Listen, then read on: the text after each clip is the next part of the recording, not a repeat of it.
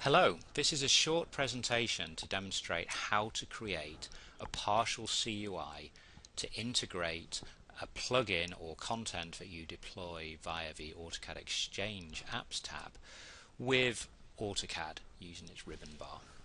In particular, I'm going to show you how to create a plugin that integrates a panel with the existing plugins tab which is available in the AutoCAD main CUI. Now there's lots of information in the AutoCAD help files itself on how to create partial CUIs or how to edit the main CUIs to create new elements. But something which is a little bit less obvious is how to create partial CUIs that add elements to tabs which already exist in the AutoCAD main CUI. And that's what I'm going to show you today. Generally our guidelines are if you have a small simple plugin but only needs to add a single panel to a ribbon bar you would add it to this plugins tab. If your plugin is more complicated then you would probably create a partial CUI but defined a tab specifically for your application. So first thing I'm going to do is invoke the CUI dialog and I'm going to create a partial CUI. So I go to the transfer tab and because I want to add to this plugins tab I'm going to this is the main CUI here I'm going to find the definition of the plugins tab and I'm going to copy that across to my partial CUI like so. And then I'm going to save that so I'll call it call it sample plugin CUI and we'll save that. We'll go back to the customize tab and we'll open it. And there it is. Okay, so now we're editing the sample plugin CUI and we see because we dragged the plugins tab across, that's already in the CU in the partial CUI. The reason we dragged it across like that is because we need to make sure that we use exactly the same alias for that tab as is defined in the main CUI. AutoCAD will match tabs by this unique, unique alias. It doesn't actually matter if any if all the other parameters are different. If, for example, the name is different, if the alias is the same, then the panel will be added to the existing tab. Similarly, the name can be the same, but if the alias is different, AutoCAD will think you want to create a new tab. So anyway, by copying it, we ensure that everything is correct, and this alias shouldn't change between AutoCAD releases. So we've got our plugins tab, and now we want to create a new command. So we click this button here to create a new command, and I'll just fill in the information here. I'll unimaginatively call it my command, and the description should be a meaningful description because this is what will be displayed on the tooltip when you hover over the command in the ribbon bar. Give it a description. The, the macro here, we're going to invoke a command, so note that I'm using the underscore here to invoke the global definition of my command if you're supporting multiple language versions. This means that you only have to have a single CUI file potentially. Uh, I guess you have to localize names, but at least the macros are always using the global command so you don't have to worry if you're using a non-English version of AutoCAD for example. So always use this underscore to call a command name. Then there's this element ID which we have to edit. And the reason we have to edit that is that if your macro has an element ID which is the same as an element ID that another plugin has defined or that is defined by AutoCAD itself then AutoCAD can get fused about displaying some of the information for your macro on perhaps a different ribbon bar element or um, from a different ribbon bar element it may display the information on yours. So anyway you, ne you need to make sure it's unique and mmu underscore 0001 is not unique.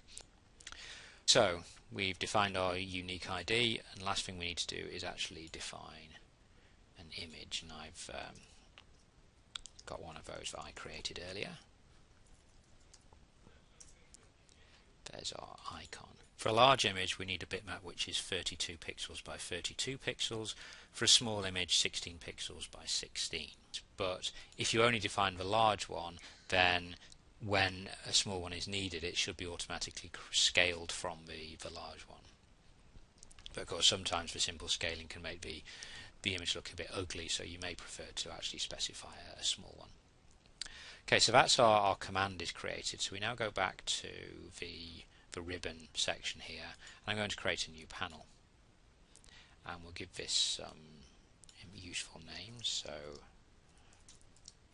we'll call it my plugin panel and my display text, which is for text which displays here at the base of a panel.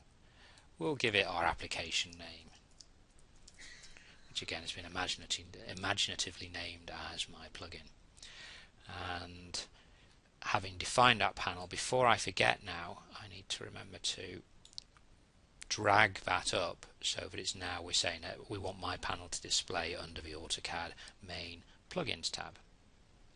And we also want to take our command and we drag it here so that it appears in the panel so we'll specify some of the display information for this. I'm going to set the button style as a large button but without text. So that'll show the 32 by 32 bitmap but with no text supporting it. And then we just scroll down and make sure we've added the other information. The group name, I normally use my company name as a fictitious company name. If we want a special display name for the command, maybe we want it to display in uppercase, we can we can do that we have a macro still there what we defined before and that should be all the information we need. So just in summary, we dragged the plugins tab into our partial CUI from the main CUI. We defined our own command. We then defined our own panel and we added our command to that panel. We've, we've just set the various parameters we want as our default and we've dragged that panel up into the plugins tab. And so now we're ready to save the sample CUI plugin, we apply it, and we click OK. And now something unexpected has happened here because rather than adding to our existing plugins tab, AutoCAD has actually created a new tab. But that's just a temporary effect. It's just a, a side effect of having just edited the partial CUI in the CUI dialog. If I actually unload that, so I go to CUI load, and select my CUI and unload it. And now I browse to that CUI and reload it.